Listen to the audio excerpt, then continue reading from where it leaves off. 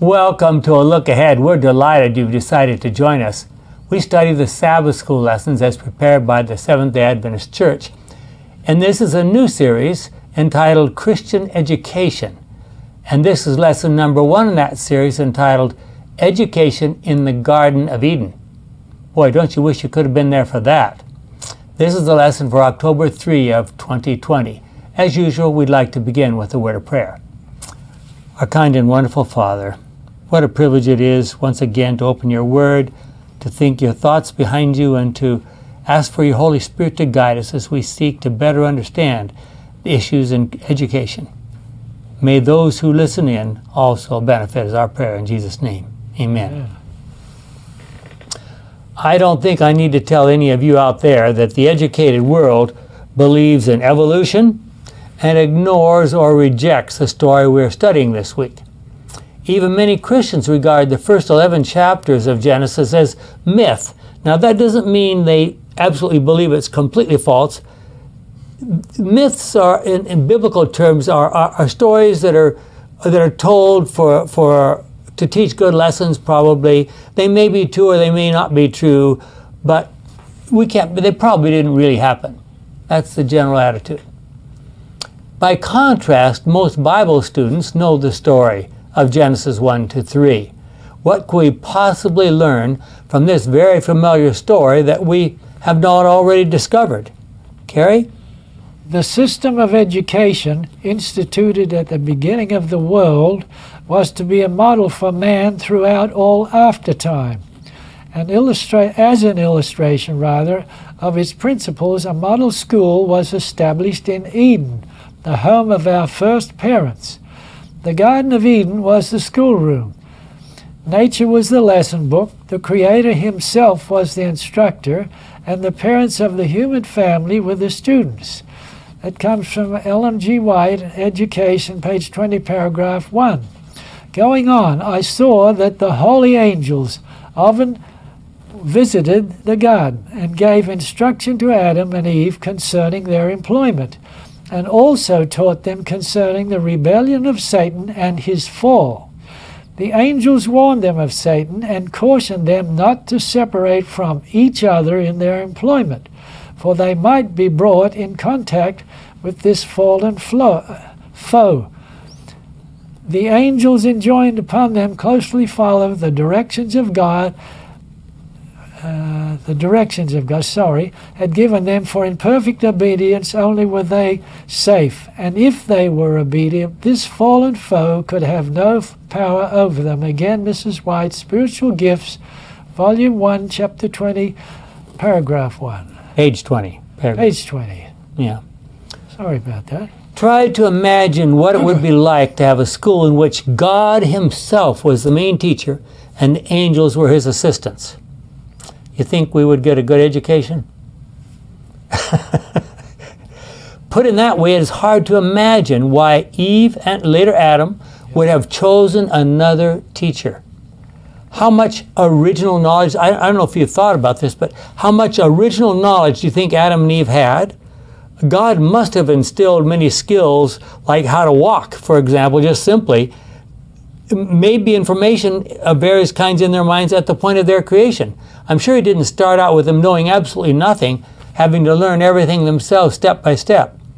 But there was nevertheless an enormous amount of knowledge that they should have learned. What we have recorded is a very brief description found in Genesis 2 7 through 23. Uh, let me just read that. When the Lord God made the universe, there were no plants on the earth. This is uh, starting with verse 4, on the earth and no seed that sprouted because he had not sent any rain and there was no one to cultivate the land. But water would come up from beneath the surface and water the ground. Then the Lord God took some soil from the ground and formed a man out of it. He breathed life giving breath into his nostrils, and the man began to live. Now, that's the correct translation of that passage. It's not a man became a living soul, as it says in the King James. There's nothing about soul in that verse. Then the Lord God planted a garden in Eden in the east, and there he put the man he had formed. He made all kinds of beautiful trees grow there and produce good fruit. In the middle of the garden stood the tree that gives life and the tree that gives knowledge of what is good and what is bad. A stream flowed in Eden and watered the garden beyond it eh, divided into four, and beyond Eden, divided into four rivers. The first river is the Pishon. It flows around the country of Havilah. Pure gold is found there, and also rare perfume, perfume and precious stones. The second river is the Gihon. It flows around the country of Cush. The third river is the Tigris, which flows east of Assyria, and the fourth river is the Euphrates. And you know the rest of the story. God placed man, the Lord God placed the man in the Garden of Eden to cultivate it and it. He said to him, You may eat the fruit of any tree in the garden, except the tree that gives knowledge of what is good and what is bad. You must not eat the fruit of that tree. If you do, you will die the same day. Then the Lord God said, It is not good for the man to live alone. I will make a suitable companion to help him. So he took some soil from the ground, formed all the animals and all the birds. Then he brought them to the man to see what he would name them, and that is how they all got their names. So the man named all the birds and all the animals, but not one of them was a suitable companion to him. Then the Lord God made the man fall into a deep sleep, and while he was sleeping, took, he took out one of the man's ribs and closed up the flesh. He formed a woman out of the rib and brought her to him. Then the man said, At last, here is one of my own kind, bone taken from my bone, flesh from my flesh. Woman is her name because she was taken out of man. So that's the, the story, what we have. So, how long do you think Adam and Eve lived in the Garden of Eden? Do we have any clues? Okay. Go ahead. The holy pair were not only children under the fatherly care of God, but students receiving instruction from the all wise Creator. They were visited by angels and were granted communion with their Maker, with no obscuring veil between them.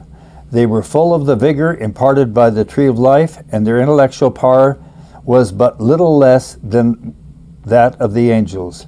The mysteries of the visible universe, the wondrous works of him which is perfect in knowledge, that is from Job 37:16, afforded them an exhaustless source of instruction and delight. The laws and operation of nature, which have engaged men's study for 6,000 years, were opened to their minds by the infinite framer and upholder of all. They held converse with the leaf and flowers and trees, gathering from each the secrets of, his, of its life. With every living creature, from the mighty Leviathan that playeth among the waters to the insect mote that floats in the sunbeam. Adam was familiar. He had given to each its name, and he was acquainted with the nature and habits of all. God's glory in the heavens, in the innumerable worlds, in their or- orderly revolutions, the balancing of the clouds, the mysteries of light and sound, of every of day and night, all were open to the study of our first parent, parents. On every leaf of the forest, or stone of the mountains, and every shining star in earth and air and sky, God's name was written. The order and harmony of the creation spoke to them of infinite wisdom and power. They were ever discovering some attraction that filled their hearts with deeper love and called forth fresh expressions of gratitude. Ellen White, Patriarchs and Prophets, page 53 and 51, uh, page 50 and 51. Uh, could you back up a minute there? Uh, uh, oh, on every leaf and flower, uh, God's name was written. Mm-hmm. Would another way of saying that is, is a representation of God's character. Exactly. Okay, it, it was it, it was an inscription. No, it was just a, a, a, revelation of the character of the Creator. Okay, I put that ex- fairly extensive paragraph in there to suggest that they must have lived in the garden for a while. Yeah. They and you know, I used to think when I was younger that Eve must have been perfectly fertile. And if she got pregnant very quickly, that means that they would have been limited to some no more than nine months, and they would be have to have been out of the garden because obviously Cain wasn't born until they were out of the garden. But I really think, uh, without being casual about this or flippant, I think God must have practiced birth control um, because they, if for them to do all the things that are mentioned in that paragraph, I don't think that could have happened even in nine months. Well, God did not leave Adam and Eve just to wander around, wondering what to do. They were given responsibilities. And no doubt they enjoyed with great satisfaction being able to do what God had told them to do. the garden also provided them with a fabulous diet.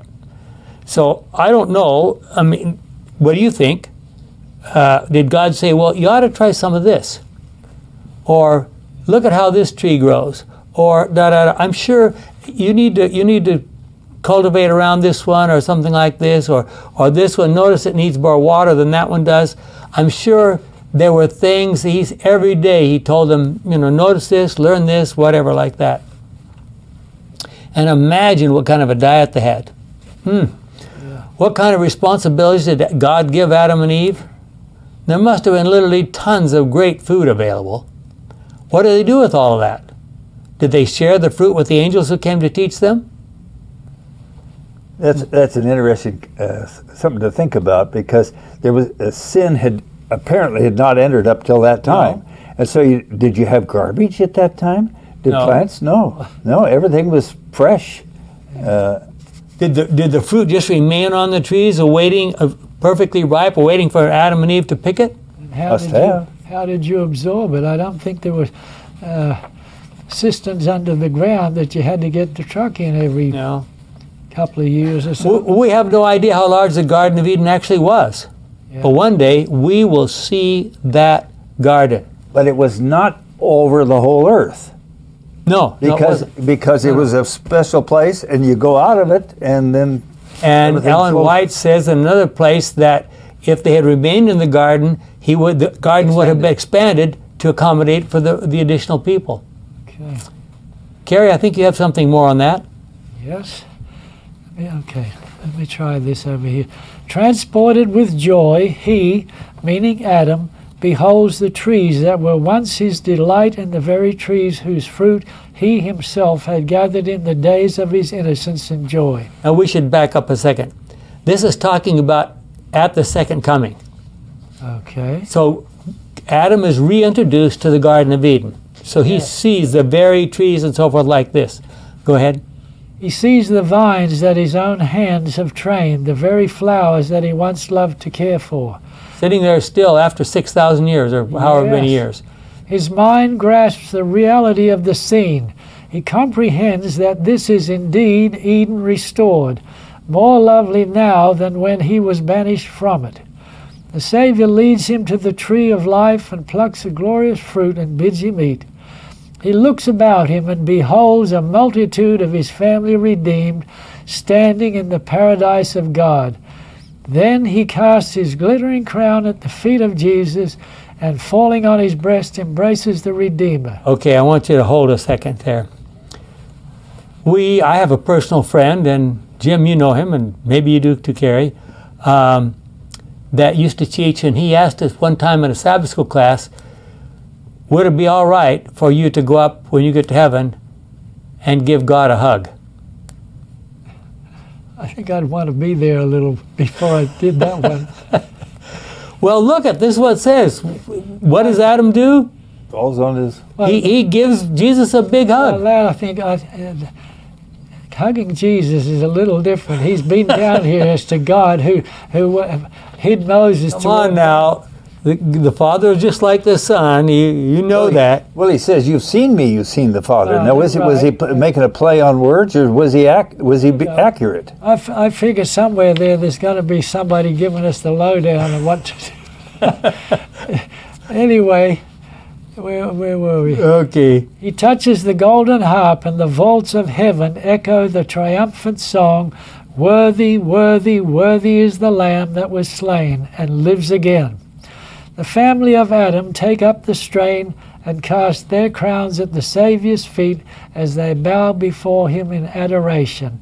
And that's from the Great Controversy, page 648, paragraph 1. And also it says, compare Adventist home. Adventist Home, page 541, paragraph 1, which has punctuation differences only. So, in in some of the modern verse, uh, books that they have compilations, they've gone through and they've adjusted because we we have learned to punctuate things a little differently. Is- that- there's no no difference in meaning. They've just Yes. changed the punctuation a little bit. Okay.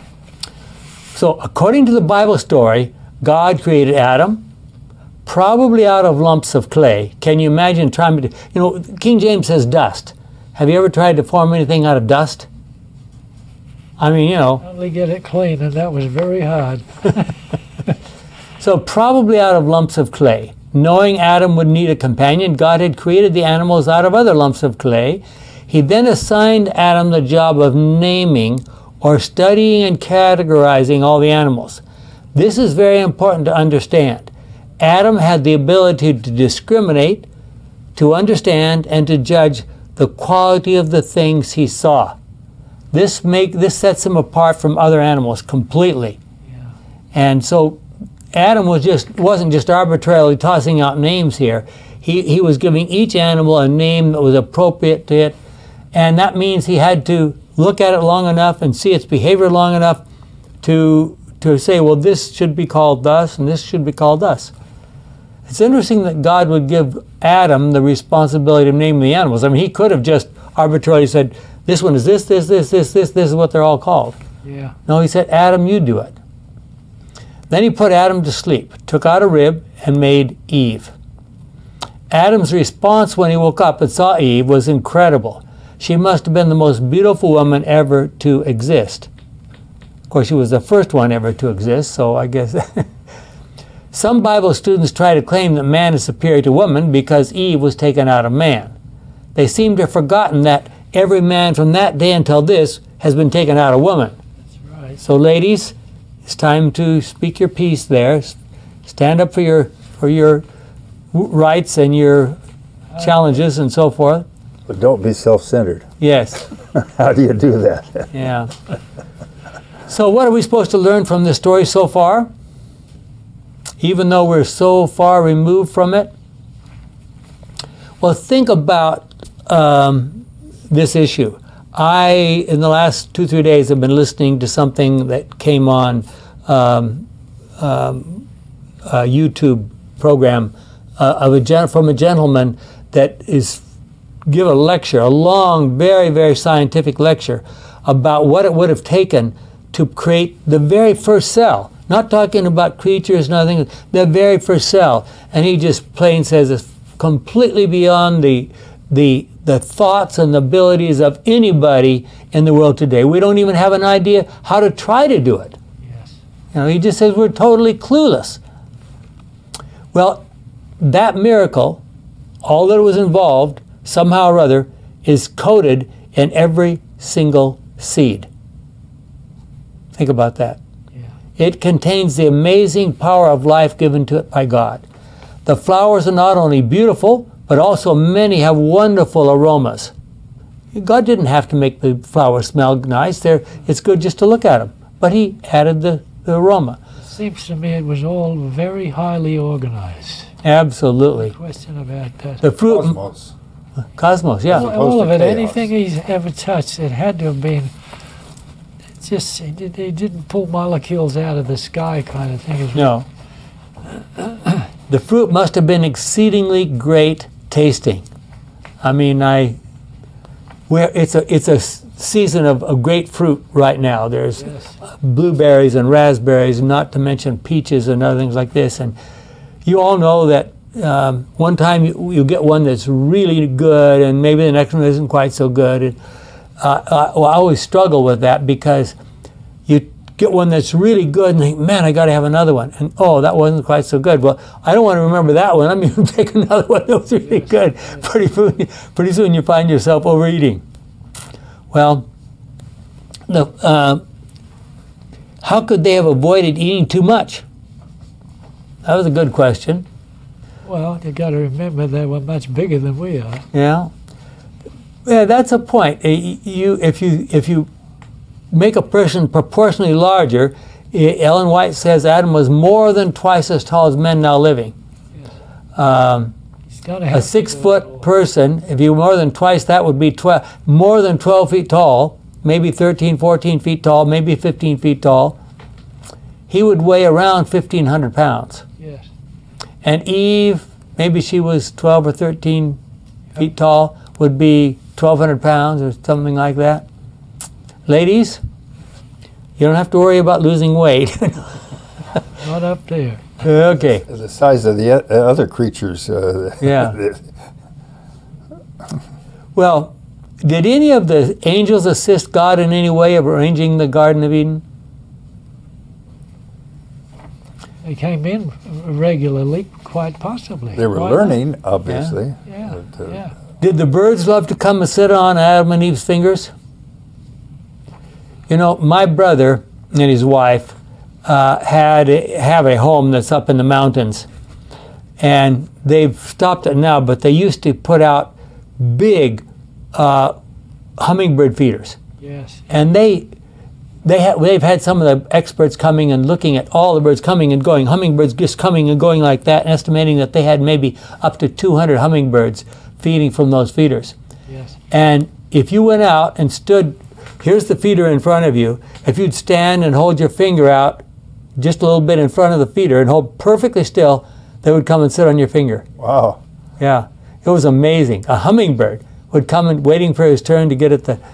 I've seen Amazing. They'll come right up to a Yeah. feeder, uh, uh, right close to, it, right Yeah. next to you, but uh, to hold your finger out and get it. I Yeah. ca- I've got a little bit of garden in front of my house. Small red roses. Uh, the name I forget. Anyway, I've got uh, miniature geraniums, and the hummers come in trying all of those. I don't think they get much out of it, but every time I see them, I marvel. How come that little brain controls every twitch of the Yeah. wings and Yeah. the feathers, and they can go any way Floors forward and backwards. any which way they want. And so tiny, and it's that much jammed into that little creature. Oh, let me add you another one to that. You know, the ruby-throated hummingbird Yeah. flies across the Caribbean nonstop Right. Wow. And the energy every season. Yeah. It's amazing, but the, we, we, we, I mean, he would lose. He loses about half his weight flying across the Caribbean. Yeah. Well, was it necessary for Adam and Eve to till the soil in any way, or could they just stick something in the ground that would grow? Well, did they have any fertilizer to apply? We talked about that. Was there any waste? You know. Did they need any fertilizer? Probably not, huh? Yeah. Could be. Well, almost before we even have a chance to think about those issues, we come to Genesis 3. Suddenly, there's an abrupt shift in the narrative. First of all, we need to recognize that Satan had already been thrown out of heaven and down to this earth before God created this world. So we need to keep things in, in sequence here. Jim? Revelation 12, 7 to 9. Then war broke out in heaven. Michael and his angels fought against the dragon, who fought back with his angels. But the dragon was defeated, and he and his angels were not allowed to stay in heaven any longer. The huge dragon was thrown out, that ancient serpent called the devil or Satan that deceived the whole world. He was thrown down to the earth and all his angels with him. American Bible Society Good News Translation 1992. It was very interesting to think about that. I have another friend who looked at this and tried to work it out, and he said his way of understanding what happened here this is a possibility, this is speculation on human part. He said, probably during the war that took place in heaven, a war of ideas and so forth. There wasn't a war of, of bombs and, and missiles and guns and stuff like that. A war of ideas. The father probably stepped back, veiled his veiled himself out of sight. And when it was seem, when it was pretty clear that every all the angels had made their choice, which side they wanted to be on, then he began to reassert himself. And those people who were out of harmony with him said, "It's time to get out of here." That's a possible explanation of that passage. Yeah, I don't think uh, they were thrown out. They just thought this is we're not comfortable here. Yeah. and they could go. Uh, part of God's love is is the freedom to, to make choices, and you don't make the choices with threats and intimidation and coercion and extortion.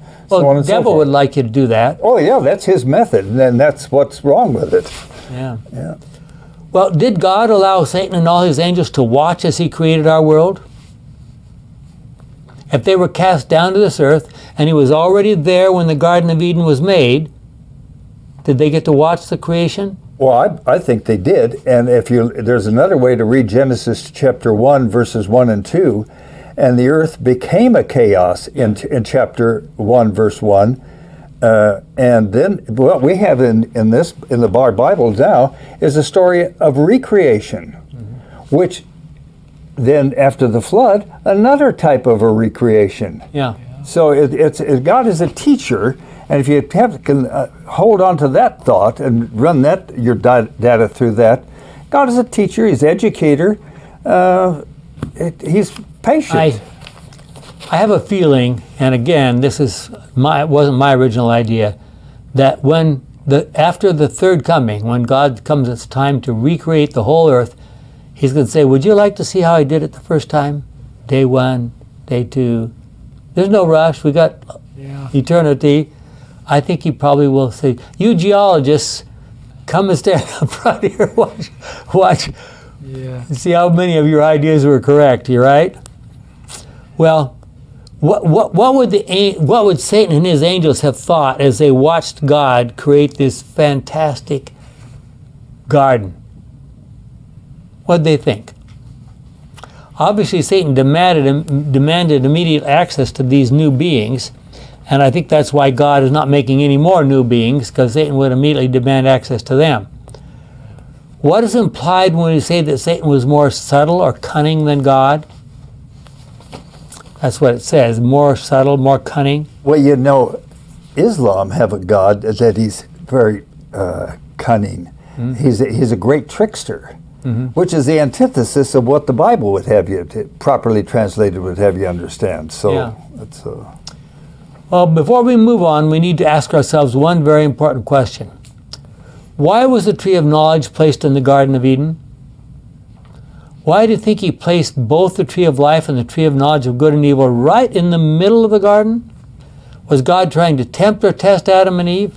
That is what almost everyone says. But notice these very significant words from Ellen White. The angels warned these very uh, uh, the angels warned them to be on their guard against the devices of Satan, for his efforts to ensnare them would be unwearied. While they were obedient to God, the evil one could not harm them. For if need be, every angel in heaven would be sent to their help. If they steadfastly repelled his first insinuations, they would be as secure as the heavenly messengers. But should they once yield to temptation, their nature would become so depraved that in themselves they would have no power and no disposition to resist Satan. Now, listen carefully. The tree of knowledge had been made a test of their obedience and their love of God. The Lord had seen fit to lay upon them but one prohibition as to the use of all that was in the garden. But if they should disregard his will in this particular, they would incur the guilt of transgression. Satan was not to follow them with continual temptations. He could have access to them only at the forbidden tree. In other words, what was the purpose of the tree? It was to It was a protection. uh, right. He said, Satan, you can't follow them all around, oh, well, everywhere they're going like this, pop out behind every flower, every tree, and so forth, you know, this, that, the other. No, God says this is a protection. He's allowed only at this one tree. Should they attempt to investigate its nature, they would be exposed to his wiles. They were admonished to give careful heed to the warning which God had sent them, and to be content with the instruction which he had seen fit to impart. Patriarchs and Prophets, 53 paragraphs 2 and 3. So, the tree was not placed in the garden primarily to test or tempt Adam and Eve. It did give them the power of choice. It was placed there as protection by limiting the access that Satan will have to our first parents. Satan could not follow them wherever they went, trying to tempt them at every corner. The great controversy had already started, and God knew what Satan was capable of doing. When God's early instructions to Adam and Eve, he was very clear. Carrie? Yes, I'm reading from Genesis 2, verses 16 to 17. He said to him, You may eat the fruit of any tree in the garden, except the tree that gives knowledge of what is good and what is bad. You must not eat the fruit of that tree. If you do, you will die the same day. That's from the Good News Bible. Well, as we know from 1 John 4 8 and 16, God is a God of love. God is love. In order to have love, one must have freedom. And so God created Adam and Eve with the power of free choice. They could choose to obey or disobey, and we know what happened. So, why was it necessary for God to allow Satan to have that one tree in the garden? Was that one tree necessary to give Adam and Eve freedom? Well, Satan clearly sinned in heaven without any tree to tempt him. Yeah. So, did Adam and Eve really need a tree? Well, God knew exactly what was coming. We do not know how much He told the angels, but the angels also taught Adam and Eve. And of course, He made us, male and female, and with the capability of procreation, which Satan doesn't have. Imagine if Satan had the ability to procreate, he would fill the universe full of little Satans. It is very likely that the conversation between Eve and the serpent was longer than what we have recorded in Genesis 3. I'm sure that's true. What other things do you think the serpent might have said to Eve? Do you think he complimented her on how good she looked? I'm sure he did all sorts of subtle things to try to, you know, just put her at ease, make her feel comfortable, da da da. Well, notice this conversation, what we have between the serpent speaking on Satan's behalf and Eve. Jim? Genesis 3, verses 1 to 6. Now the snake was most cunning animal that the Lord God had made. The snake asked the woman, Did God really tell you not to eat fruit from the, any tree in the garden? Now, I want to stop there for a second. The King James gives a little bit different meaning, but this is the correct understanding of the Hebrew. In other words, he's saying to you, Did God tell you you couldn't eat from any tree in the garden? So he's implying that God has forbidden them to eat any, of course, it was complete nonsense, but he, he's trying to, you know, sort of shock Eve. Did he tell you you couldn't eat from any tree in the garden? Well, of course not, you know. Go ahead. We may eat the fruit of any tree in the garden, the woman answered, except the tree in the middle of it. God told us not to eat it, and the fruit of that tree, or even touch it. If we do, we will die. Now, uh, there's no record prior to that that he, God said not to touch it. No. The serpent replied, That's not true. You will not die. God said that because he knows that when you eat it, you will be like God and know what is good and what is bad.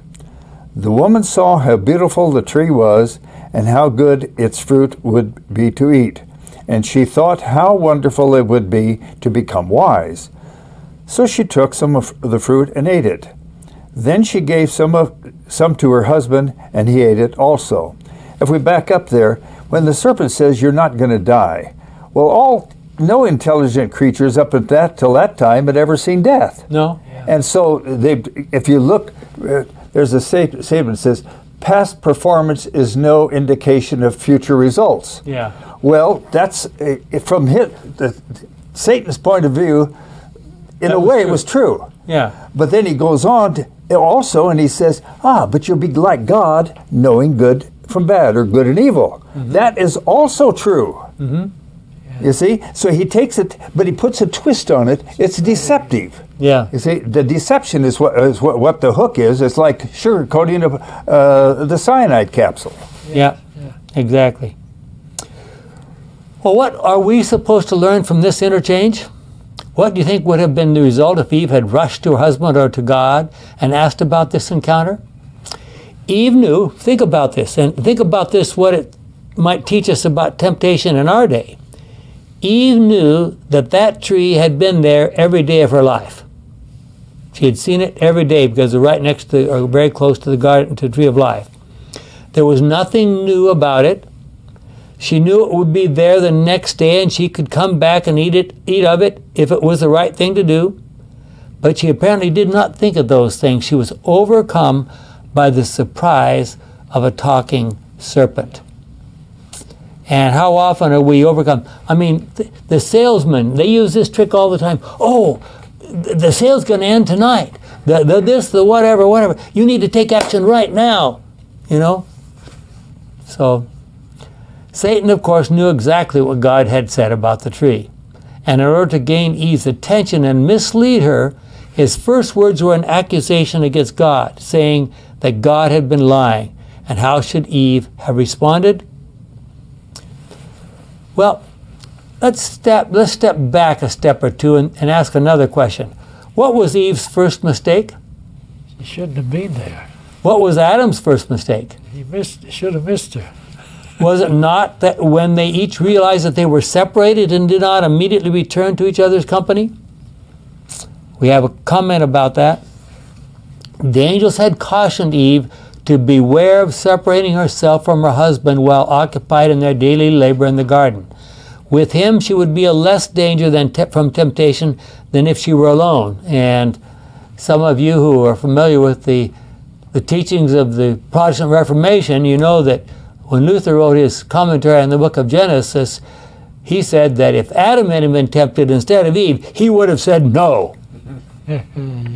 Obviously, he had a, a bit of a bias there. But absorbed in her pleasing task, reading on these words, of course, are from Ellen White. Absorbed in her pleasing task, she unconsciously wandered from his side. And on perceiving that she was alone, she felt an apprehension of danger. And she should have immediately responded. And Adam also noticed it, deciding that he had sufficient wisdom and strength to discern evil and to withstand it. Unmindful of the angel's caution, she soon found herself gazing with mingled curiosity and admiration upon the forbidden tree. The fruit was very beautiful, and she questioned why, with herself why, why God had withheld it from them. Now was the tempter's opportunity. As if he were able to discern the workings of her mind, he addressed her, Yea, hath God said, Ye shall not eat of every tree in the garden? Eve was surprised and startled as she thus seemed to hear the echo of her thoughts. But the serpent continued in a musical voice with subtle praise of her surpassing loveliness. So you see why I made the comment earlier about how good looking you are. His words were not displeasing. He, he, he went on, I'm sure. Instead of fleeing from the spot, she lingered wonderingly to hear a serpent speak. Had she been addressed by a being like the angels, her fears would have been excited, but she had no thought that the fascinating serpent could become the medium of the fallen foe. Patriarchs and Prophets 53 and 54. Wow. You know, you mentioned about fear, but how much did they had very little to, to be feared fearful about anyway. Nothing that, to that, be fear, fearful. No, I mean, it just doesn't. Uh, you might want to look at that a little bit different, but uh, Yeah. Well, try to imagine yourself in Adam's place as Eve approached him with the forbidden fruit. What would you have done? Was it noble for Adam to support his wife in her mistake? Carrie? Okay. One of the greatest appeals. This is. Wait a Did minute. you get Adam understood? Or is that mine? No, that's I was yours. 29. I've got myself. Okay, sorry. I thought I started 31. Try to imagine yourself in Adam's place as Eve approached him with the forbidden fruit. What would you have done? Was it noble for Adam to support his wife in her mistake? Probably. Maybe he didn't even think about it. He was so used to. Oh, I. I don't know. It's. it's Well, read on. You. It'll. It'll give us some clues. Al- Alzheimer's had not set in. It was Oh, not but- diminished capacity. The other thing that always struck me as being kind of peculiar, they always say the serpent is the most intelligent of all the beings, but I don't really. Cunning. Yeah, but they they, Well- they taught to do one thing. In the general, either squeeze you to death and swallow you or poison you. Yeah. Yeah, but they, you got to remember, it was- it wasn't the serpent itself. It was Satan speaking through a serpent. right. But he had had many years, uh, th- And- perhaps thousands of years, to do his trick and, and swept. Remember in Revelation 12 4, the dragon swept down a, a third of the angels, or Yeah. started the stars of heaven. Anyway, Adam understood that his companion had transgressed the command of God, disregarded the only prohibition laid upon them as a test of their fidelity and love. There was a terrible struggle in his mind. He mourned that he had permitted Eve to wander from his side. So he. See, he had. Al- he, he already realized. Without, yes. She realized it, he realized it, and they both made the mistake of saying, Oh, we need to be back together. But now the deed was done. He must be separated from her whose society had been his joy. How could he have it thus? That's from Patriarchs and Prophets, page 56, paragraph 2. Adam was not deceived in any sense. He knew right from wrong, however, he chose wrong. Wrong, wow. One of the greatest appeals of Satan was that by eating the fruit, they would become like God. But earlier in the story, Genesis 1:27, where we read it, it tells us that Adam and Eve were created to be like God. Did Adam and Eve know that they were like God? I mean, they walked with him in the cool of the evening. Yeah. They must have understood that. What, what did they think they were going to learn or they were going to gain by eating this fruit that they didn't already have? Well, while Adam and Eve no doubt had a lot of things to learn and could have continued learning for the rest of eternity, they failed the test. So now we have not only the challenge of learning what they had not yet learned, but also the challenge of reacquainting ourselves with God, His truth, and the plan of salvation. God is ever ready to share His love, kindness, and knowledge with us. Are we ready to receive His gifts? Think of the incredible life and death that Jesus was willing to go through in order for us to be saved. The incredible number of lessons that we can learn from the life and death of Jesus is so great that we are told that we will continue to study the plan of salvation for the rest of eternity. Steps to Christ, pages 88 and 89. I would really encourage you to get out that little book and read those two pages. Amazing. So, what provisions has God made for us to regain our relationship with Him? 2 Peter 3, excuse me, 2 Peter 1, verses 3 to 11. God's divine power has given us everything we need to live a truly religious life through our knowledge of the one who called us to share in his own glory and goodness. In this way, he will give us the very great and precious gifts he promised, so that by means of these gifts you may escape from the destructive lust that is in the world, and may come to share the divine nature. For this very reason, do your best to add goodness to your faith. To your goodness, add knowledge. To your knowledge, add self control. To your self control, add endurance. To your endurance, add godliness.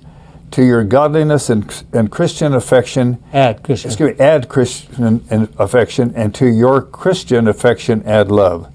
These are the qualities you need, and if you have them in abundance, they will make you active and effective in your knowledge of our Lord Jesus Christ. Those who do not those who do not Have them. Not have them are short sighted that they cannot see, and they have forgotten that they have been purified from their past sins. So then, my brother, so then, my brothers and sisters, try even harder to make God's call and choice of your your you. his choice of you a permanent experience. If you do so, you may excuse me, you will abandon your faith Never abandon you. Wow. You will never abandon your faith. In that way, you will be given the full right to enter the eternal kingdom of our Lord and Savior Jesus Christ. Good News Bible. So God has made provision for us to find our way back, to be helped back, to guide and direct us, whatever is need. He, he, he, give, he's given us the example of Jesus and so forth. So it's not like God hasn't tried to rectify what happened there in the Garden of Eden. So, what is the specific knowledge mentioned in Peter's letter? Might it be the ability to distinguish between good and bad? Anyone who has gone to school for any period of time will know that there are some students who find school a lot easier than others. Knowledge seems to stick in their brains. So Peter warned us of what, uh, uh, of what we can expect to happen. 2 Peter 2 1 through 17. False prophets appeared in the past uh, among the people, and in the same way, false teachers will appear among you. Now, I don't know whether Peter was talking about false prophets back way back in the Old Testament, or whether he meant there was already false prophets in the in the in the Christian church. But anyway, they will bring in destructive, untrue doctrines and will deny the master who redeemed them, and so they will bring upon themselves sudden destruction. So, what are they doing, and to whom? They're bringing upon themselves sudden destruction. Even so, many will follow their immoral ways, and because of what they do, others will speak evil of the way of truth. And remember, the Christian message back in the early days was called the way. In their greed, these false teachers will make a profit out of telling you made up stories. Does this mean this is a, the pastors are preaching for a profit? Ever heard of that idea? For a long time now, their judge has been ready and their destroyer has been wide awake. And so the Lord knows how to rescue godly people from their trials and how to keep the wicked under punishment for the day of judgment. And this is one, one of many, many verses to suggest that the judgment doesn't come at the point when you die, it doesn't come until Jesus comes back again. Especially those who follow their filthy bodily lusts and despise God's authority. These people are like dried up springs, like crowds, clouds blown along by a storm. God has reserved a place for them in the deepest darkness. The Good News Bible. Well, think about things that we need to learn from this story at the beginning of Genesis and from the plan of salvation. Might it be true that we need to learn not only how to avoid temptation, but also learn of the many ways in which God can help us do so and grow in His knowledge and will? I suspect that would be true. Adam and Eve committed a sin, disobeying a direct command from God. Do we do that in our day? If we disobey one of the Ten Commandments, is that a direct disobedience of one of God's commands? You know, when we use the term disobey and obey and so forth, uh, another way of saying that it's a, a, willingness to listen or failure to listen because all through the old testament god is saying you don't listen. You don't listen. And which of course you're going to be careful who you're listening to. Yeah. you want to, t- test it out. But uh, yeah well there are many passages of scripture especially in the writings of ellen white suggesting that our first work should be witnessing for the lord she talks about this. Uh, I listened to some more material just this week from her writings that we can do all kinds of different jobs. We can support ourselves. Paul made tents, but that wasn't his real job. What was his real job? His real job was spreading the gospel. And she says, no matter what your situation is, wherever you are, so forth, and that's why she has particularly tried to emphasize uh, healing messages because if people come to you hurting, uh, they want help, and so you're in a position to not only help them from a health perspective, but to help them in, in a spiritual perspective. Yeah. We may be busy in any kind of work, educational. We may volunteer. My wife has taken up a new volunteer job, uh, ministerial work, or a host of other possibilities. But in each of those contexts, shouldn't we be witnessing for the Lord? And that's what we talked about all last quarter, wasn't it? Considering the craftiness of Satan, are we prepared to meet his temptations? I mean, think of someone who, for more than, well, let's say for multiple thousands of years, has been practicing his skills at tempting people. What are our chances against that? Satan is not omnipresent, however, God is. So we are physically close to God at all times. We do not know exactly where Satan is. What we do know is that good and evil angels are with each one of us, so we can be as close to God as we choose to be. So, what have we learned about how we can discriminate between good and bad authority?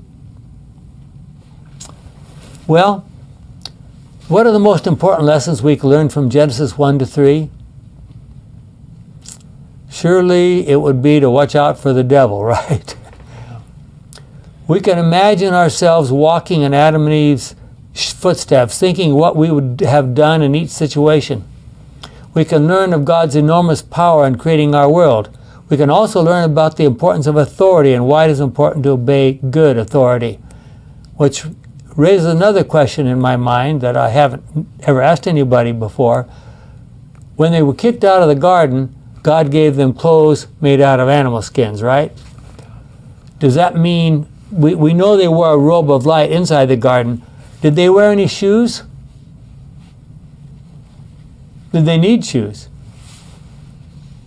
If they didn't, they probably soon would have. Things would have changed outside. They had to rethink their diet and all that kind of stuff. How did uh, when did the thorns come in? Yeah. And so on and so forth. Yeah. You know. Well, many parts of Scripture refer back to this story we are studying this week. What lessons are there in that for us, in, including Jesus? He talks about creation, calls back to creation. Why do we need to know the story of the Garden of Eden in order to understand the plan of salvation? Or do we? What do you think? I'm noticing a discrepancy between these numbers we've got here. Yeah, there are. Did you upgrade something? Oh, the, the computer program does that sometimes. Oh, I'm trying to find my way around right. Yeah.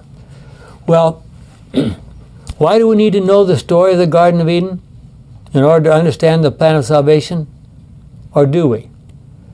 I think we need to know the story of the Garden of Eden. We need to know, first of all, what Jim read us from Revelation 12 to know that the problem of sin did not start here, it started in heaven. And we need to know this story to realize that God planned for us a perfect environment and we blew it. Yeah. And so that's how we got into this situation. And I think it's essential that we understand that. Try to think through Satan's temptation of Eve. How did he do it? He was I'm sure he had subtle praise for her, you know, flattery. flattery, this kind of stuff. Imagine a talking snake. Yeah. I mean, it's it's. Uh, Yeah. And you know, you don't, his mouth must have moved some. He didn't. They, snakes don't. Snakes don't have vocal cords. But uh, They make hissing sounds. I mean, if if it was a, one of the big pythons that had a big head on it, you might see where Yeah. uh, he could have kidded her into. Well, there was there was no fear at that uh, uh, at that Well, and time. Ellen White says that in those days the serpents could fly. Yeah. Yes, yes. so, and if you see one up in the tree and eating fruit and what have you, it's uh, it's, It just seems a natural thing yeah, to do. yeah. Well, it was God's original plan, remember, for all of us to be living in the Garden of Eden and learning about Him every day. Someday, we may go back to doing that. Jim, I think you have the last one there. So long as they remained loyal to the divine law, their capacity to know, to enjoy, and to love would continually increase. They would be constantly gaining new treasure of knowledge, discovery, excuse me, discovering fresh springs of happiness and obtaining clearer and yet clearer conceptions of the immeasurable, unfailing love of God. Ellen Now- White, Patriarchs of Prophets. Okay, I, I want to ask some questions about that. Have you ever wondered how it can continue getting bigger? Some some places, Ellen White will say, you can reach the highest level, and yet there's more beyond. Well, if it, if there's more beyond, it can't be the highest level, right? But I'm sure it's going to seem like that. My wife always teases me when we, when we, if we're climbing a hill or something like this, because I always think, oh, it's we're almost there, and then we get to the top of that one. Oh, yeah, there's another, ridge. There's another ridge. There's another ridge. But I mean, the the learning in heaven must be like that. And when you find something that it is really uh, you're attracted to, you you need more. You- Yeah. You, you, you, you, you don't aren't satisfied with that little bit you've got. You want to know what, what more does this per- one have to tell us? Yeah. It's uh, That's true of uh, go, visiting beautiful places as well. Yeah. You know, beautiful scenery. I just came back from visiting three different national parks. And boy, you just you know, you go around another corner and there's this and there's a there's an animal here and there's a beautiful tree there and there's you just you blink your eyes a couple times, you know, can I take this all in, you know? Yeah. It is interesting to know that, notice that each of Satan's accusations in this first recorded conversation are all directed against God. He implied that God is very restrictive. Did, he tell, did he tell you that you can't eat from any tree in the garden? That was his, that was his question. well Genesis chapter one. He, Yeah. Two places he says, "Take dominion." Yeah. And he didn't say, "Hey, I'll hold you back. I've got this barrier." No, just Yeah. take control. Okay. And he didn't say, "Well, but look out! You Yeah. step out of line. I'm going to zap you." It's not there. He almost suggested God forbid them to eat from any of the tree. He implied that God feels threatened by someone else trying to gain a knowledge that might impart to him or her powers equal to his. I mean, what is God going to spend the rest of eternity doing? He wants it to become more like him, right? That's our goal. That's God's goal for us. Philippians two five, isn't it? Mm-hmm. That this mind be in you is. Yeah. in Christ Jesus. He further suggests that God had deceived them and misinformed them about the lethal consequences of eating the fruit from the tree. So, what should we have learned from this lesson? Are we clear about God and the answers to all of God's accusations against God down through the generations? That's an important thing for us to consider. What do we know about Satan's accusations? Do we understand them? Well, God placed Adam and Eve in a free universe. There was no embarrassment, there was no shame, even though they were naked. When God approached them after their sin, He did not make accusations against accusing against them, accusing them of sin, rebellion, or iniquity. He simply asked them, "Where are you?" And then He had to reveal to them the awful truth that they would be expelled from the garden. How many of Satan's initial accusations against God are still popular, popularly believed today? Do we understand clearly that God hates only one thing sin? Hates sin because it damages and destroys his children. There are many variations on sin and sin and many ways in which we can disobey God. We may often have to hear the questions, what's wrong with doing this or that? Do we recognize that these questions are really an attempt to smear God's reputation? There's a story told of an ancient nobleman who lived on the top of a mountain. On the road up to the top, there were some very narrow sections of the road. He wanted to find a driver who could safely carry his wife up and down the mountain. He had three applicants. He asked the first one, How close can you to the edge of the cliff do you think you can safely drive? The first driver suggested that he could drive within one foot of the edge and still be safe. Then the nobleman asked the second driver how close he thought he could drive to the edge and still be safe. Uh, thinking that he would have to sound better than the first driver, he said he could drive within six inches of the edge and still be safe. The third driver then asked the same question, he turned to nobleman and said, The only safe place to drive on this road is as far from the edge as one can. Who do you think got the job? Let's pray. Our kind and loving Father, help us to stay as far away from sin as we possibly can. We don't have trees that we, we, we're forbidden to eat from, but as Eve walk, wandered over there and saw that tree and she was tempted, and look what terrible things it has have been the result. And even today we're tempted that Satan, Satan will have us try to, to be misled and deceived, help us to be aware of his wiles. May we closely, may we draw closer to you each day is our prayer in Jesus' name. Amen.